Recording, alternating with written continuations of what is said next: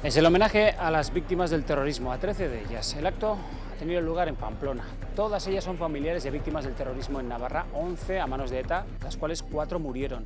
Una procedente del terrorismo islámico en Madrid con el atentado del 11 de mayo y una más en el Sáhara. ¿Qué tal? Muy buenas tardes. El acto ha estado presidido por el ministro del Interior, Jorge Fernández Díaz, que ha enviado un aviso. Si persisten los homenajes a etarras, se puede aplicar la ley de partidos para ilegalizar.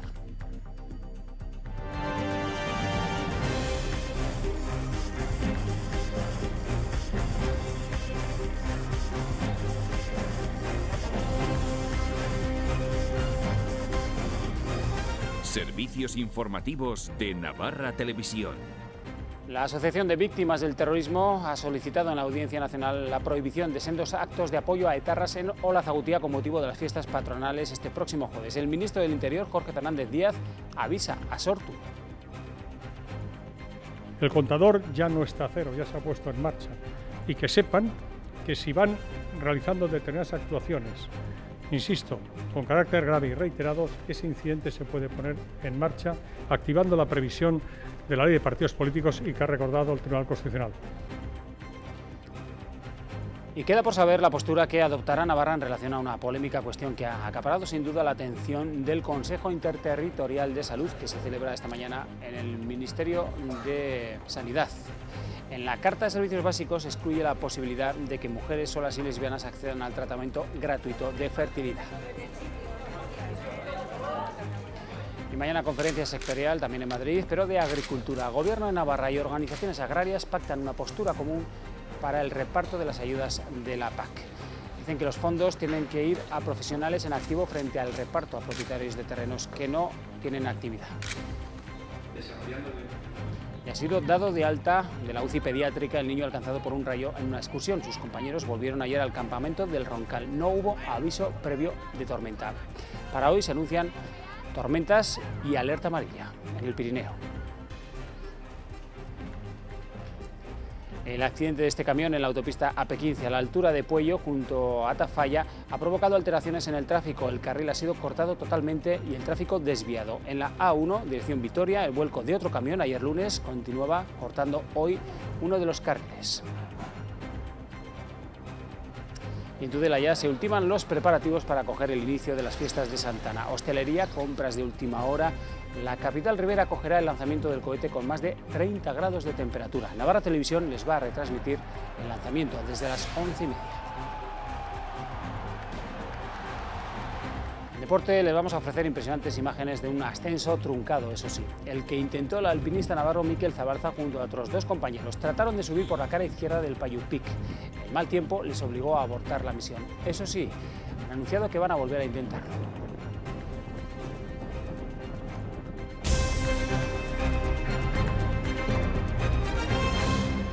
El ministro del Interior, Jorge Fernández Díaz, ha hecho referencia esta mañana al acto que está programado este jueves en Olazagutía, organizado por familiares de presos de la banda terrorista ETA. El ministro ha querido enviar un mensaje a Sortu, advirtiéndole de que si no cesa en sus actitudes en este tipo de actos, podría llevarse a cabo su ilegalización. La ley de partidos políticos y el Tribunal Constitucional, en la sentencia en que legalizó a Sortu, recordaba una especie de, decálogo de conductas que si fueran grave, gravemente y reiteradamente producidas podían dar lugar al incidente de ilegalización sobrevenida. El contador ya no está a cero, ya se ha puesto en marcha. Y que sepan que si van realizando determinadas actuaciones, insisto, con carácter grave y reiterados, ese incidente se puede poner en marcha activando la previsión de la ley de partidos políticos y que ha recordado el Tribunal Constitucional. Mariano Rajoy explicará su visión del escándalo Bárcenas el 1 de agosto. Lo ha confirmado el presidente del Congreso, Jesús Posada, y anticipa que será una sesión y que se desarrollará en el Senado porque el Congreso está en obras. Intervención del eh, presidente, intervención de todos los grupos, de mayor a menor, réplica y réplica del presidente. Entonces, bueno, eh, durará varias horas.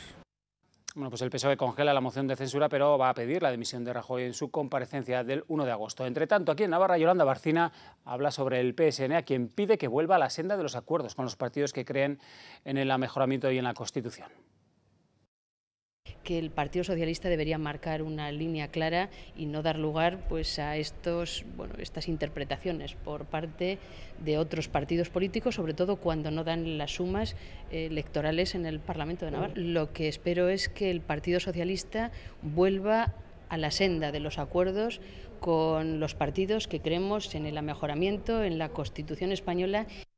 Polémica propuesta que propone el Ministerio de Sanidad de Ana Matos sobre el acceso de las mujeres a los programas de fertilidad y que hoy presenta a las comunidades autónomas en el Consejo Interterritorial del Sistema Nacional de Salud, al que asiste, por cierto, Navarra. La cartera de servicios básicos excluye de la financiación a lesbianas y a mujeres solas del acceso gratuito a técnicas de reproducción asistida. También excluye a personas con ligadura de trompas o vasectomía. El documento, que busca consenso con las autonomías, contempla financiar a parejas em, formadas por un hombre menor de 55 años y una mujer de, menor de 40 que no tengan hijos y que tengan un diagnóstico de esterilidad. Bueno, pues ese documento ha provocado la ira de decenas de personas que participaron ayer en una manifestación por el centro de Madrid para protestar precisamente por la medida propuesta por la ministra Mato. Eh, hubo incidentes a las puertas del Ministerio de Sanidad durante esta protesta y la policía cargó contra personas que no habían sido autorizadas para llevar a cabo esa manifestación. Hubo una persona detenida. El niño alcanzado por un rayo en el Valle de Ansó ya ha sido dado de alta de la UCI pediátrica y ha pasado a planta esta misma mañana, según ha podido saber Navarra Televisión. El menor se recupera favorablemente y se encuentra fuera de todo peligro. Mañana podría recibir el alta médica y salir del hospital tras ingresar en este centro zaragozano estable y consciente, aunque dentro de la gravedad, por quemaduras producidas por el rayo. Quienes ya están con el resto de compañeros del campamento son los otros niños que también resultaron heridos por el alcance del rayo. Pues afortunadamente el menor se recupera en el hospital mientras se analiza qué pudo ocurrir. Desde el Gobierno de Navarra confirman que no hubo aviso de tormenta, aunque el domingo cayeron más de 7.400 rayos en el Pirineo. Muchos vecinos de la zona manifestaron que quizá las condiciones climatológicas no eran las adecuadas para realizar esa excursión. No había aviso de tormenta a la hora de la excursión, lo confirmó el colegio que organiza el campamento al que pertenece el menor alcanzado por el rayo, una versión que corroboran desde el Gobierno de Navarra. En este caso, como no había riesgo de tormenta en, esa zona, no recibió ningún aviso. Totalmente pues mala fortuna que, que pasó este incidente con, con, el rayo. Tan mala fortuna porque la probabilidad de que un rayo alcance a una persona es de una entre millones. Cayeron del orden de 7.400 rayos en toda la península y la mayor parte en el cuadrante nordeste de España. Algunos vecinos del valle, acostumbrados a tormentas como la que descargó sobre Ansó, han manifestado que quizás las condiciones climatológicas no eran las adecuadas para llevar a cabo la excursión. Llevamos unos cuantos días ya pues, mucho viento sur, a las tardes normalmente es cuando se forman estos fenómenos tormentosos. Un crío de tan poca edad a esas horas esté donde está y se veía que iba a haber tormenta, pues es un poco arriesgado. Por todo ello, desde la sala de emergencias del 112 de Aragón, inciden en la importancia de seguir sus recomendaciones y mantenerse informado. Damos información de los posibles fenómenos meteorológicos que van a ocurrir, o sea, ya se da con antelación. Entonces, con esta información lo más importante es eh, tener precaución, no salir a la montaña con, con alertas, porque bueno, lo normal es que haya tormentas, haya fuertes lluvias. Tanto la titulación de los monitores como los permisos del campamento estaban en regla. Cerca de 3.500 jóvenes realizan estos días acampadas en diferentes parajes de Navarra. Combatir el calor se está convirtiendo casi en un asunto de Estado. Durante lo que llevamos de verano los trastornos atacan y por ello hidratarse más de lo normal y no exponerse a los rayos del sol en las horas puntas se antoja imprescindible. Mucho calor sobre todo, ¿no? Y que se maree. Se desmayarán. Que te caes, ¿no? Si han padecido este tipo de sintomatología es que han sufrido alguna vez un trastorno de calor, una patología que tiene incidencia en esta época estival y que se resume en agotamiento y calambres. El agotamiento por calor es lo típico que a mucha gente le ha pasado alguna vez. Son calambres musculares, tal cual. En las piernas y en los brazos son los más frecuentes. Y sobre todo el golpe de calor. Hay una persona que tiene fiebre, 39 grados o más, o sea, es importante la fiebre que hay eh, la piel está enrojecida y, muy caliente, pero seca. La exposición continua al sol puede igualmente producir quemaduras de diversa índole e incluso problemas mayores. Es acumulativo, tiene un efecto dosis-respuesta al sol y se pueden producir cánceres a medio plazo y también cataratas. La hidratación constante o una alimentación variada claves para no sufrir pájaras. Se puede mm, aportar líquidos bebiendo, que es más como el 60%, pero también comiendo ensalada, frutas. Y es que lo vivido hasta ahora no ha sido una ola de calor, sino la resaca de una primavera para nada cálida. Y no nos hemos podido aclimatar, porque no hemos tenido primavera ni junio que nos permitiera ir aclimatándonos. En la calle la receta contra el calor la tienen en casa. No hace falta pretexto, la siesta es el deporte nacional. La autopista P15 que lleva a Tudela desde Pamplona ha estado cerrada, está cerrada al tráfico desde las 7 y 20 de la mañana debido al vuelco de este camión que ha ocupado ambos carriles de la vía a la altura de Puello, en Tafalla. El vehículo ha hecho la tijera, ha volcado sin que se registraran heridos. El tráfico se ha desviado por la salida 56. Y ya en la autovía norte, en la A1, también cortado un carril en sentido Vitoria porque se retira de la calzada la carga de un camión accidentado ayer lunes.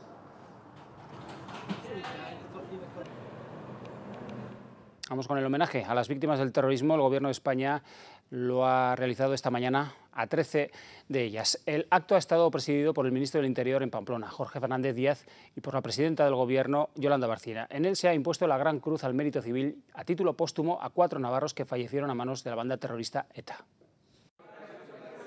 Los cuatro condecorados a título póstumo murieron a manos de ETA entre los años 1976 y 2003. Hoy sus familiares han recogido la distinción de manos del ministro del Interior, Jorge Fernández Díaz. En el acto también se ha distinguido con la encomienda al mérito civil a otras nueve víctimas que sufrieron ataques terroristas y que han podido recoger la distinción.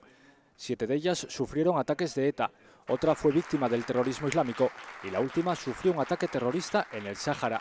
Durante el acto, el ministro del Interior ha significado que la sociedad española nunca olvidará a las víctimas del terrorismo. Nunca podemos olvidar, ni podremos olvidar a la memoria, a quienes hoy honramos su memoria, ni al resto de víctimas del terrorismo, pues sencillamente porque ni queremos ni podemos hacerlo. El acto ha estado presidido también por la presidenta de Navarra, Yolanda Barcina, quien ha puesto de relieve el ejemplo que suponen para Navarra los 13 condecorados esta mañana. Para Navarra siempre seréis una referencia de lo mejor de nuestra sociedad, un ejemplo a seguir y un estímulo a la hora de perfeccionar. La presidenta del Gobierno foral ha querido mandar un mensaje a quienes, según sus palabras, pretenden seguir en el día a día como si no hubiera pasado nada. Todavía faltan muchas cosas por hacer, muchas actitudes por cambiar en quienes a día de hoy siguen utilizando el chantaje y la amenaza en aquellas localidades en las que gobiernan, en el País Vasco o en Navarra.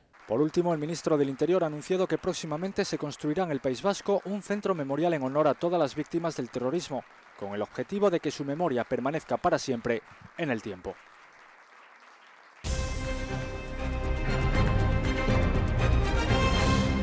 Consenso en el agro navarro en torno a cómo se deben aplicar las ayudas que llegan de Europa. El Gobierno de Navarra, la UGN, N Nafarroa y UCAN han firmado esta mañana un documento que recoge los principios que va a defender Navarra de cara a la aplicación de la nueva política agrícola común que se va a debatir mañana en Madrid. Estaban todos juntos defendiendo una postura única, que sean los profesionales del campo en activo quienes reciban las ayudas de Europa, las ayudas de la PAC. En el conjunto de España Vemos casos donde grandes extensiones de, terreno, donde no hay actividad agraria, donde no hay carga ganadera, donde no hay cabezas de ganado, mm, tienen derechos y están cobrando de la política agraria común. ¿no? Eso es lo que entendemos que no puede ser. El Gobierno defenderá mañana en Madrid esta idea que ha sido consensuada con las principales organizaciones agrarias de Navarra. Dejar todo como está supondría que el viñedo de La Mancha y, pues, tendría ayudas, este no. Supondría que el olivar del sur tendría ayudas y el olivar de Navarra no supondría que ciertas frutas como los cítricos tendría ayudas y este no. Efectivamente diga que es necesario que haya un cambio y que, y que tiene que haber una redistribución totalmente diferente de lo que son las ayudas hasta ahora. Las ayudas de la PAC suponen el 25% de la renta agraria de las explotaciones navarras. Los firmantes del documento quieren medidas que eviten estas situaciones, como que el cobro dependa de la producción o que las ayudas para pastos se dediquen solo por tener ganado. Todos han manifestado su acuerdo para que se define un programa de desarrollo rural de ámbito nacional que se sume a los programas autonómicos.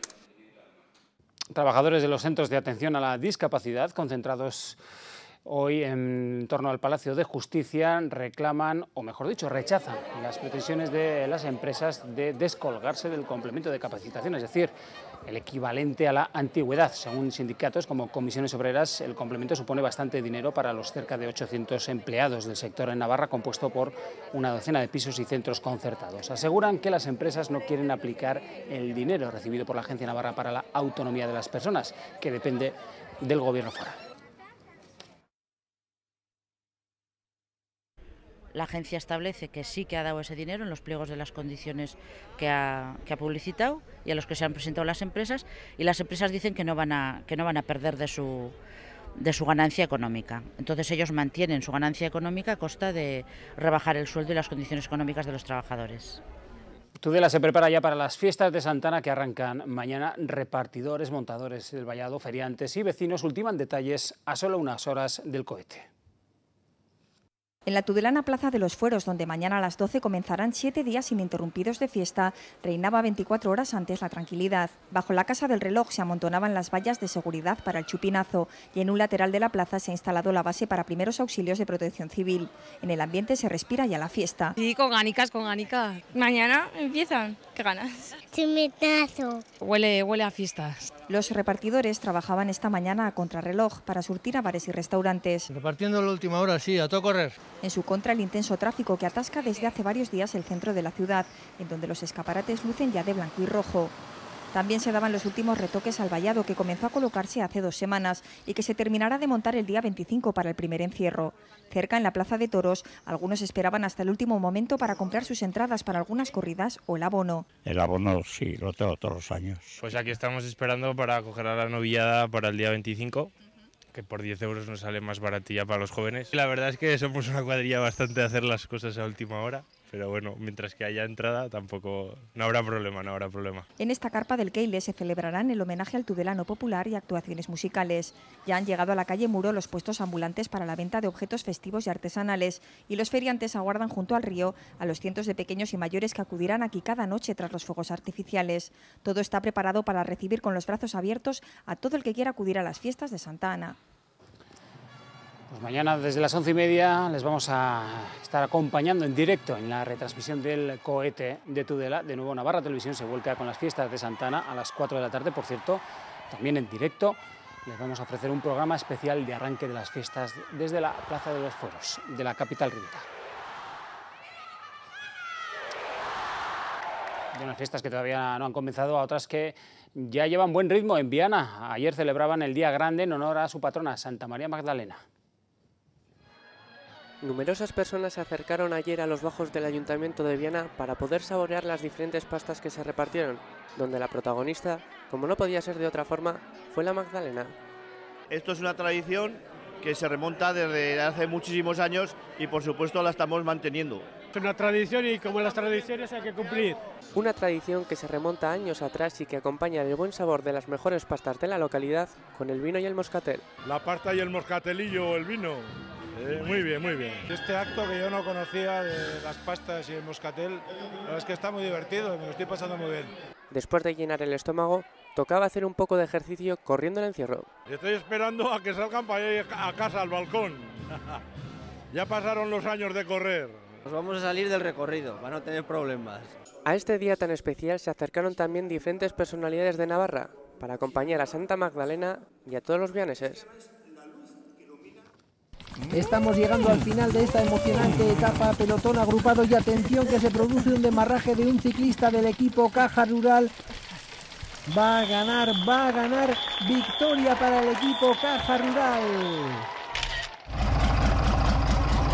Caja Rural de Navarra patrocina los deportes.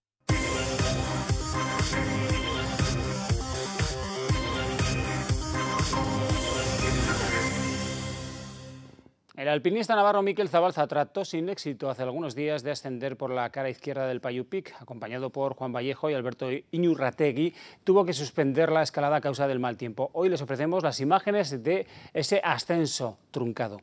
Los tres han anunciado que van a volver a intentarlo. Imponente, peligroso el Payupic, al que se enfrentó hace unos días el montañero navarro Miquel Zabalza junto a Alberto Iñurrategui y Juan Vallejo, asusta nada más verlo. Los tres alpinistas trataron de conseguir lo que de momento nadie ha conseguido, ascender por su cara izquierda. Sin embargo, pronto descubrieron que la hazaña iba a ser complicada de conseguir. Bueno, Miquel, ¿qué? Por hoy ya suficiente, ¿no? Sí, además con el tiempo que hace tampoco da para mucho más. Hemos metido un buen mordisco, así pillando la debilidad que tiene la parte de abajo de la pared y bien. Mal tiempo, hielo, grietas, todos estos factores impidieron a la expedición completar con éxito la travesía. Acostumbrados a enfrentarse a todos estos peligros, los tres alpinistas decidieron desistir el pasado 11 de julio a causa de las malas condiciones climatológicas. Y es que una imagen vale más que mil palabras para comprender lo que tuvieron que soportar. Está siendo duro, ¿eh? Y luego los neveros estos, estos nos está jodiendo vivos. Pese al intento fallido y a su regreso, los tres montañeros han mostrado su intención de regresar a una de las montañas más complicadas. Aunque no hay fecha para ello, no han descartado que sea dentro de no demasiado tiempo. El jugador del Chelsea y exjugador de Osasuna, César Azpilicueta, estuvo ayer en Pamplona. Multitud de seguidores del Internacional Navarro acudieron a un centro comercial de la capital navarra para conseguir el autógrafo de su ídolo y también para fotografiarse. Tras atender a sus incondicionales, habló ante los micrófonos, hizo balance de la temporada y también habló de cómo ve a Osasuna para la próxima campaña. Además, hizo una confesión. Aún en la distancia, sigue muy pendiente de la actualidad roja. La temporada ha sido positiva. Este año he conseguido ser internacional. Yo creo que era un sueño para mí. Bueno, lo he conseguido y bueno, hemos conseguido un título como la Europa League que, que nunca es fácil. Sí, sí, lo sigo, sí. ¿Y cómo lo estás viendo? Bueno, pues ahora mismo en época de fichajes estoy viendo que bueno, están intentando incorporar eh, jugadores en la medida que pueden y, y bueno, pues ojalá que, que pase una temporada buena y que no se sufra tanto. Esta tarde arranca en en el Campeonato de España de Patinaje Artístico en categoría senior. Reunirá en la Comunidad Foral a los mejores patinadores nacionales. Muchos de ellos llegan jugándose su presencia en los campeonatos europeos y en los mundiales. Navarra tendrá un representante, David Mariano. El patinador ya participó en el pasado Campeonato del Mundo y este vuelve a tener opciones para hacerlo. Cada año la, la, temporada se complica un poco más. Yo, por ejemplo, este año he tenido una lesión, he tenido que parar, he tenido que empezar rehabilitación, entrenar poquito. Entonces ha sido un poco complicado, sobre todo estos dos últimos meses. Y bueno, yo me veo con muchas ganas y mucha fuerza de, de poder revalidar el título que, que llevo a mis espaldas. Estamos llegando al final de esta emocionante etapa pelotón agrupado y atención que se produce un demarraje de un ciclista del equipo Caja Rural. Va a ganar, va a ganar victoria para el equipo Caja Rural. Caja Rural de Navarra patrocina los deportes. Acercar a los más pequeños la vida que les une con las personas mayores y que llevan a cabo en la residencia de ancianos con el objetivo de romper barreras y también de alegrarles el día. Es lo que persigue Cruz Roja Juventud a través de las visitas programadas a la residencia del Vergel de Pamplona y que este año cumplen, por cierto, ocho años. Se trata de una iniciativa de Cruz Roja Juventud con el objetivo de que infancia y tercera edad se den la mano para que los más pequeños conozcan las tareas que se llevan a cabo en las residencias de ancianos. Es bueno, una actividad diferente en la que están compartiendo, pues como bien decías, emociones y sensaciones con, con personas mayores y a veces ese espacio aparece pocas veces en el, en el día a día ¿no? y cuando aparece casi siempre es con, con las personas de la familia. Una buena dosis de vitalidad para los mayores de este centro ya que gracias a su compañía se sienten más realizados, acompañados y encantados de poder compartir unas horas con los más pequeños. Es un momento especial para los mayores, esperan con, con alegría que lleguen los chiquitos y también es importante para los pequeños que conozcan el, la vida de una residencia de ancianos. Es el octavo año que esta actividad, enmarcada dentro de las colonias urbanas de Cruz Roja, se lleva a cabo. En esta ocasión serán tres los días en los que los pequeños acompañarán a los mayores. ¿Qué estáis haciendo aquí hoy? Eh, estamos haciendo actividades con las señoras mayores. ¿Qué es lo que más te está gustando? A ver, cuéntame. Eh, no sé, estar con las personas mayores porque te van contando cosas y estás entretenido. ¿Qué es lo que más te gusta de, de estar con ellos?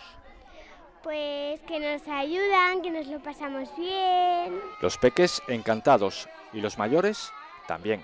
A mí me gustan mucho los que, o sea, que, estoy muy a gusto con ellos. Según los miembros de Cruz Roja, se trata de ir rompiendo barreras y cambiando la mentalidad de los más pequeños. A tenor de sus caras, podemos comprobar que tanto ellos como los mayores se lo pasan en grande con estas visitas. Pues nada más, aquí ponemos punto final a este espacio de noticias a las ocho y media. Recuerden, segunda edición de las noticias con Silvia Lorente y a las cuatro, Paula Fernández con Entérate Verano. Nada más, que pasen una muy feliz tarde.